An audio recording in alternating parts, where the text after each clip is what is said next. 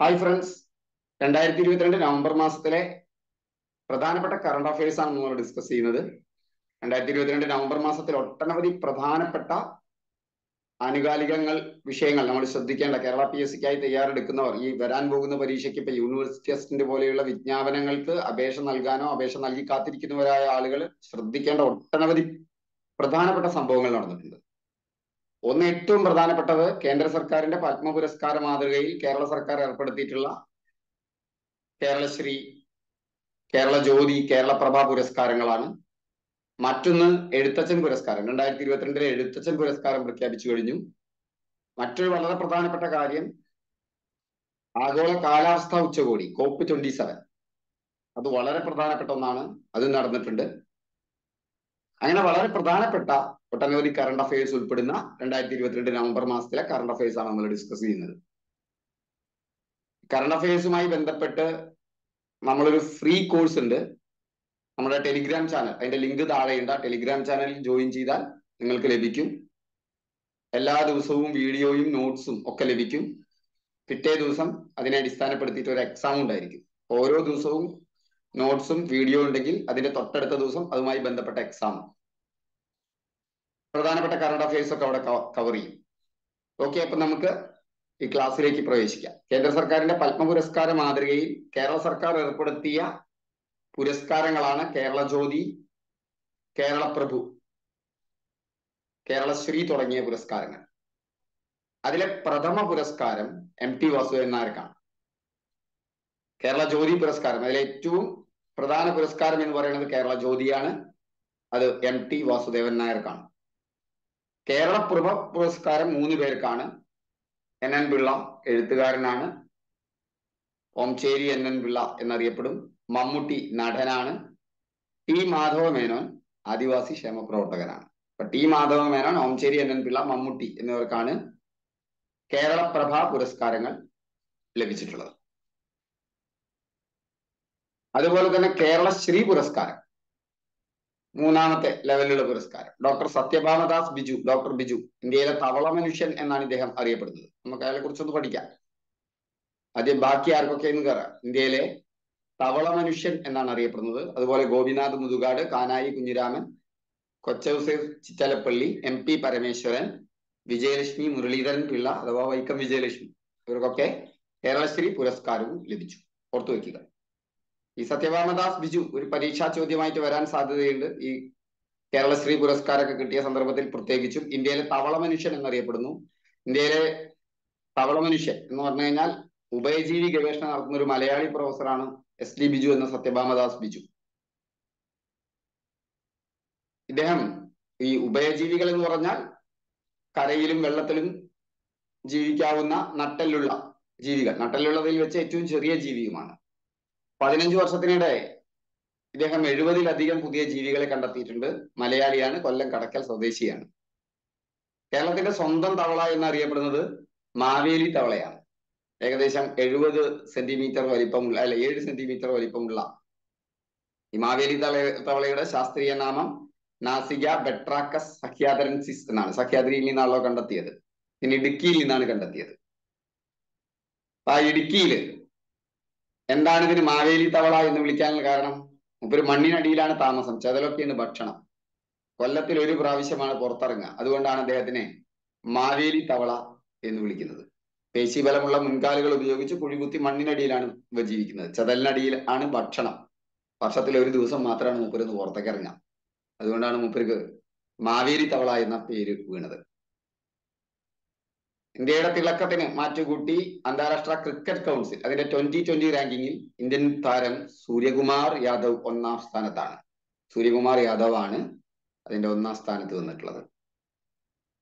സംസ്ഥാന സർക്കാരിന്റെ ഏറ്റവും വലിയ സാഹിത്യ പുരസ്കാരം എഴുത്തച്ഛൻ പുരസ്കാരം ലഭിച്ചു പ്രഖ്യാപിച്ചു. എഴുത്തുകാരൻ സേതുവിനാണ് രണ്ടായിരത്തി ഇരുപത്തിരണ്ടിലെ പുരസ്കാരം. അഞ്ചു ലക്ഷം രൂപയും ശില്പവും പ്രശസ്തി പത്രവുമാണ് അടങ്ങുന്നതാണ് ഈ പുരസ്കാരം എന്ന് പറയുന്നത്. രണ്ടായിരത്തി പത്തൊമ്പതിൽ ആനന്ദിനാണ് രണ്ടായിരത്തി ഇരുപതിൽ പോൾ സക്കറിയക്കാണ് രണ്ടായിരത്തി ഇരുപത്തി ഒന്നിൽ പി വത്സലയ്ക്കാണ് രണ്ടായിരത്തി ഇരുപത്തിരണ്ടിൽ സേതുവിനാണ് എഴുത്തച്ഛൻ പുരസ്കാരങ്ങൾ ലഭിച്ചിട്ടുള്ളത്. നോവലിസ്റ്റും കവിയുമായിട്ടുള്ള ടി പി രാജാവൻ നമ്മളോട് വിട പറഞ്ഞു. മറ്റൊരു പ്രധാനപ്പെട്ട വിടവറച്ചിലാണ് ഇളാബെൻ ഭട്ട്. ഗാന്ധിയനായിരുന്നു ഇളാബെൻ ഭട്ട്. അതുപോലെ തന്നെ വനിതകളുടെ അവകാശങ്ങൾക്കും ശാക്തീകരണത്തിനുമായി ജീവിതം സമർപ്പിച്ച ആളാണ് പത്മഭൂഷൺ പത്മശ്രീ മാക്സസെ പുരസ്കാരം റൈറ്റ് ലൈവ്ലിഹുഡ് ബഹുമതി ഇന്ദിരാഗാന്ധി സമാധാന സമ്മാനം തുടങ്ങിയ ഒട്ടേറെ ബഹുമതികൾ നേടിയിട്ടുണ്ട്. ഒന്ന് ഓർത്തു വെച്ചോളൂ. ഇള ബെൻ ഭട്ട് അന്തരിച്ചു. വനിതകളുടെ അവകാശങ്ങൾക്കും ശാക്തീകരണത്തിനുമായി ജീവിതം സമർപ്പിച്ച ആൾ. ബഹുമതികൾ ഒന്നുകൂടി മാക്സസെ പുരസ്കാരം കിട്ടിയിട്ടുണ്ട്. റൈറ്റ് ലൈവ്ലിഹുഡ് ബഹുമതി ലഭിച്ചിട്ടുണ്ട്. ഇന്ദിരാഗാന്ധി സമാധാന സമ്മാനം പത്മശ്രീ പുരസ്കാരങ്ങൾ ഇതെല്ലാം തന്നെ ലഭിച്ചിട്ടുണ്ട്. ട്വന്റി ട്വന്റി ക്രിക്കറ്റ് ലോക ചരിത്രത്തെ ഏറ്റവും കൂടുതൽ റൺ നേടിയതിന്റെ റെക്കോർഡ് അതും ഇന്ത്യക്കായി മാറി വിരാട് കോഹ്ലിക്കാണ്. അന്താരാഷ്ട്ര ട്വന്റി ട്വന്റിയിൽ നാലായിരം റൺസ് പൂർത്തിയാക്കുന്ന ആദ്യ താരം വിരാട് കോഹ്ലിയാണ്. ഏറ്റവും കൂടുതൽ റൺ നേടിയതിന്റെ റെക്കോർഡും ഇന്ത്യൻ താരം വിരാട് കോഹ്ലിക്കാണ്. ഇന്ത്യ മറ്റൊരു തദ്ദേശീയമായി വികസിപ്പിച്ച ബാലിസ്റ്റിക് മിസൈലിനെ പ്രതിരോധിക്കുന്ന ഡി ഒന്ന് മിസൈൽ വിജയകരമായി പരീക്ഷണം പൂർത്തിയാക്കി. അതായത് ബാലിസ്റ്റിക് മിസൈലിനെ പ്രതിരോധിക്കുന്ന എ ഒന്ന് മിസൈൽ വിജയകരമായി ആദ്യ പരീക്ഷണം പൂർത്തിയാക്കി. കേരളത്തിന് മറ്റൊരു പ്രധാനപ്പെട്ട നേട്ടം അല്ലെ? നീതി. നമ്മൾക്ക് കേരളത്തിന് ഒട്ടനവധി പ്രധാനപ്പെട്ട ഒരുപാട് കാര്യങ്ങൾ ശുചിത്വ മേഖലയിൽ നമുക്ക് ഒന്നാം സ്ഥാനമാണ്. അങ്ങനെ ഒട്ടനവധി കാര്യങ്ങൾ. ശിശു മരണ നിരക്ക് ഏറ്റവും കുറഞ്ഞ സംസ്ഥാനമാണ് നിതി ആയോഗിന്റെ സൂചികയിൽ ഇന്ത്യ കേരളത്തിൽ കേരളം പലതിലും ഒന്നാം സ്ഥാനത്താണ്. കേന്ദ്ര വിദ്യാഭ്യാസ മന്ത്രാലയം പുറത്തിറക്കിയ സംസ്ഥാനങ്ങളുടെ വിദ്യാഭ്യാസ പ്രകടന സൂചികയിലും കേരളത്തിനാണ് ഒന്നാം സ്ഥാനം. മറ്റൊന്നാണ് കോപ്പ് ട്വന്റി സെവൻ ലോക കാലാവസ്ഥ ഉച്ചകോടി. അത് ഈജിപ്തിൽ ആരംഭിച്ചു അല്ല ഈജിപ്തിൽ കഴിഞ്ഞു.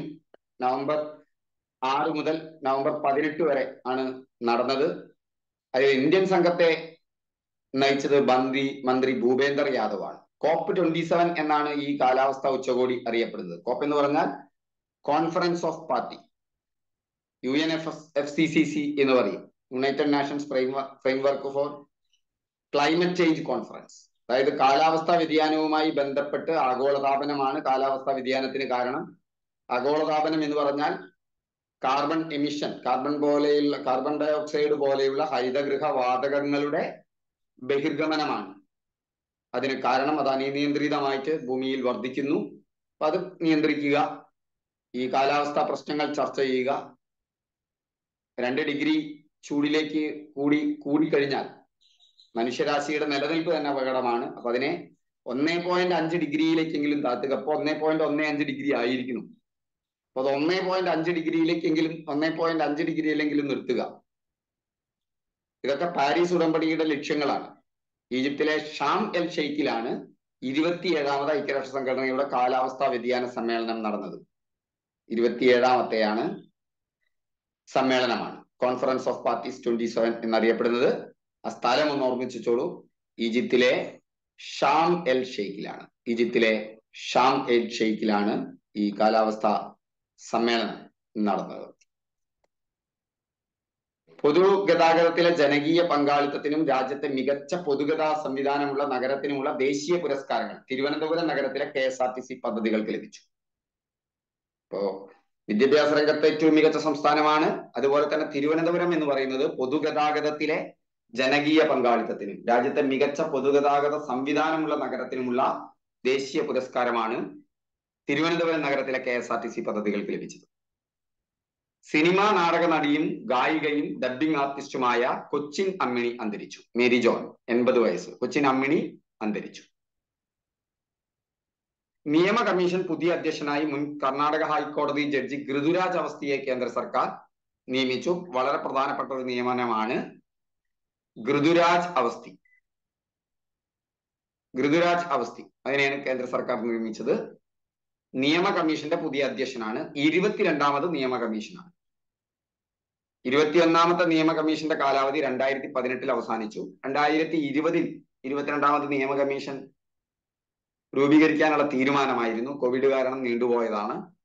അപ്പൊ നിയമ കമ്മീഷന്റെ പുതിയ അധ്യക്ഷൻ മുൻ കർണാടക ഹൈക്കോടതി ജഡ്ജി ഗൃതുരാജ് അവസ്ഥയാണ്. മുന്നോക്കക്കാരിലെ സാമ്പത്തികമായി പിന്നോക്കം നിൽക്കുന്നവർക്ക് വിദ്യാഭ്യാസത്തിലും സർക്കാർ ജോലിയിലും കേന്ദ്രം പത്ത് ശതമാനം സംവരണം ഏർപ്പെടുത്തിയത് സുപ്രീം കോടതി ശരിവെച്ചു. ഇന്ത്യൻ ഇക്കോണമി മോണിറ്ററി സെന്ററിന്റെ കണക്ക് പ്രകാരം ഏറ്റവും അധികം തൊഴിലില്ലായ്മ നിരക്ക് രേഖപ്പെടുത്തിയ ഇന്ത്യൻ സംസ്ഥാനം ഹരിയാനയാണ്. ഇന്ത്യൻ എക്കണോമി മോണിറ്ററി സെന്ററിന്റെ കണക്ക് പ്രകാരം ഏറ്റവും അധികം തൊഴിലില്ലായ്മ നിരക്ക് രേഖപ്പെടുത്തിയ ഇന്ത്യൻ സംസ്ഥാനം ഏതാണ്? ഹരിയാനയാണ്. സംസ്ഥാന സർക്കാർ ആരംഭിച്ച ഡിജിറ്റൽ സർവേ പദ്ധതിയുടെ ഭാഗ്യചിഹ്നമാണ് സർവേ അപ്പു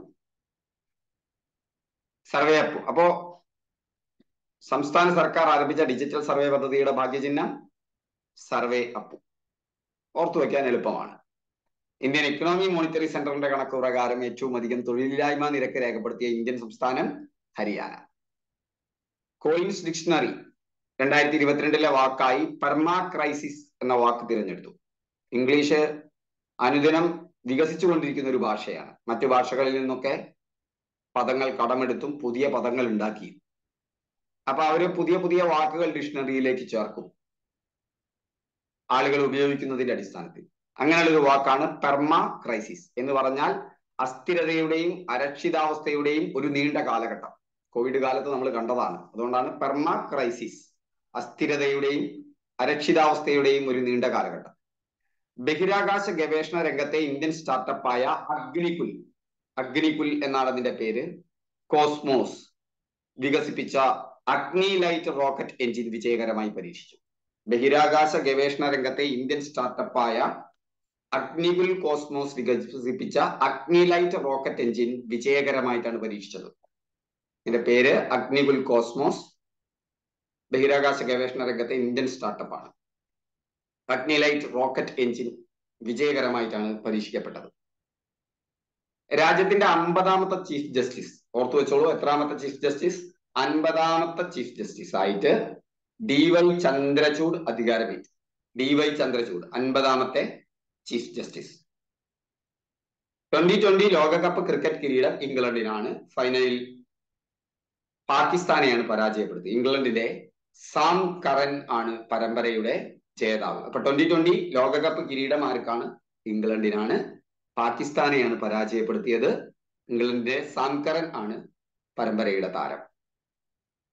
ഒളിമ്പിക് സ്വർണ മെഡൽ നേതാവ് നീരജ് ചോപ്രയെ സ്വിറ്റ്സർലൻഡ് ടൂറിസം ഫ്രണ്ട് ഫ്രണ്ട്ഷിപ്പ് അംബാസിഡറായി നിയമിച്ചു.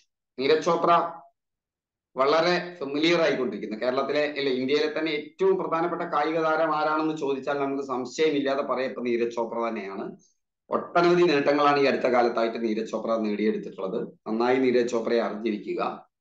പി എസ് സിക്ക് വളരെയധികം ചോദ്യങ്ങൾ പ്രതീക്ഷിക്കാവുന്ന ഒരു മേഖലയാണ്. നീരജ് ചോപ്രയുമായി ബന്ധപ്പെട്ട ചോദ്യങ്ങൾ വരാൻ സാധ്യതയുണ്ട്. ഒട്ടനവധി നേട്ടങ്ങൾ ഈ അടുത്ത കാലത്ത് നീരജ് ചോപ്ര സ്വന്തമാക്കിയിട്ടുണ്ട്. ഇപ്പൊ സ്വിറ്റ്സർലൻഡിന്റെ ടൂറിസം ഫ്രണ്ട്ഷിപ്പ് അംബാസിഡർ ആയിട്ടാണ് അദ്ദേഹം നിയമിക്കപ്പെട്ടത്. രണ്ടായിരത്തി ഇരുപത്തി ഒന്നിലെ ടോക്കിയോ ഒളിമ്പിക്സിൽ ജാവലിൻ ത്രോ ഇയാൾ ജാവലിൻ ത്രോ താരമാണ്. ത്രോയിൽ സ്വർണം.